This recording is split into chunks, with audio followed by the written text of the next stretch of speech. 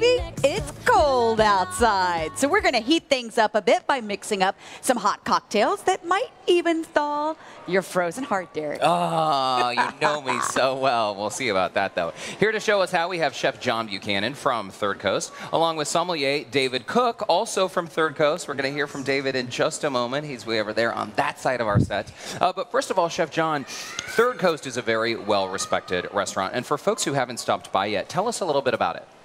Well, we're a modern Houstonian restaurant. We like to reach out to Houston, uh, the diversity of the city, and the diversity of the medical center.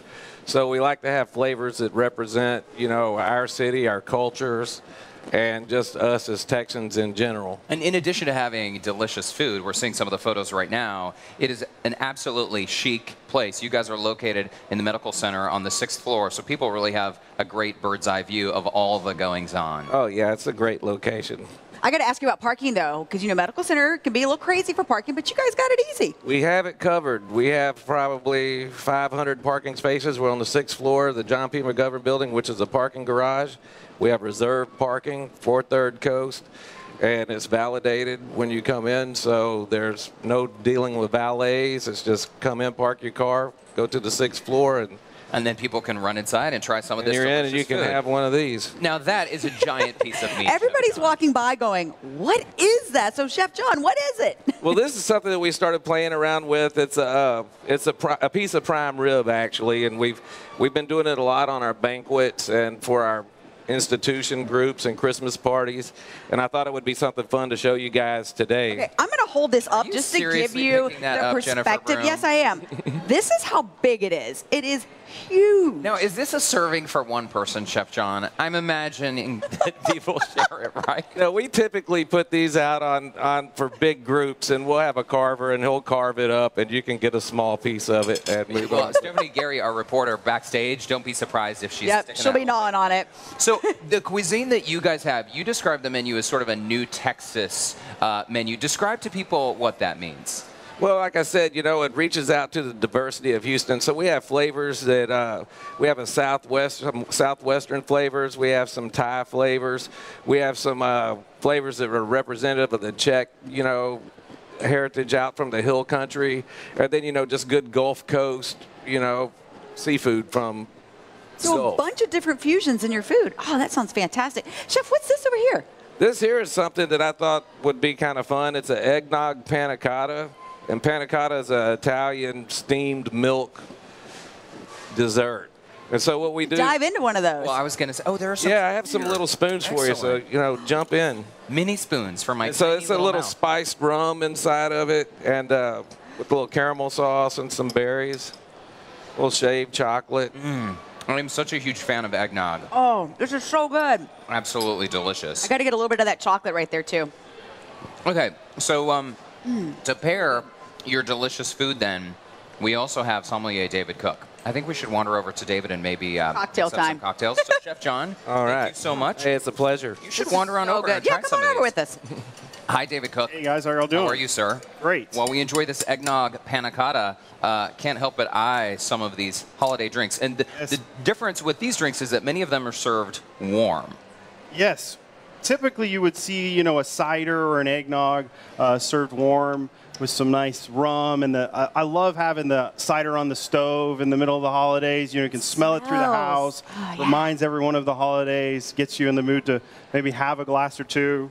Okay, so today we're going to try a few things, but also, uh, do we have a chance to mix some up as well? Yes, absolutely. I'm just mixing here the hard cider here. We're using a great cinnamon and spice infused rum from Witherspoon Distillery uh, here in Texas. So y'all grab a glass. This is uh, This one right here. yeah. Can I hard, take this one? Hard cider martini. Drinking out of a martini glass is not my best talent. This is happiness in a glass. It's got some good spice to It it. really does. I mean, you've got the apples and the cinnamon, and I Yeah. love that you've garnished it with the little cinnamon stick. Wow. Oh, that's our executive producer, Don Graham, who apparently Really? is thirsty. Here, Jennifer, you can share mine. Wait, No, David, Don. Don just went on Santa's naughty list for stealing my drink. The dangerous thing about this is it doesn't taste like there's alcohol in it.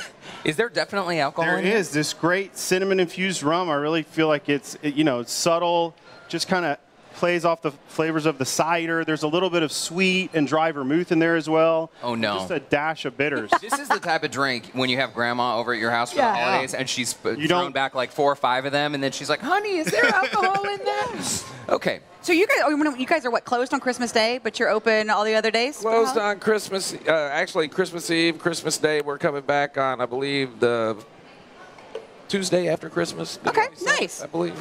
All right, so what else you got? So another looks like one. a uh, hot toddy. Yeah, it's a hot toddy with some uh, great Irish whiskey, local clover honey, and fresh lemon juice. And then just pick your favorite hot tea. Any kind of hot, like an herbal kind, hot tea, yeah, like herbal a hot tea, chamomile or even a green tea if you want a little lighter. Um, but this is fun for the four or five days where it's cold outside uh, here in Houston to act like we can uh, sit by the fire, warm up, and have a good time. It's- So a, a good Irish whiskey. I gotta go I- Jameson. In gotta go Jameson with that one.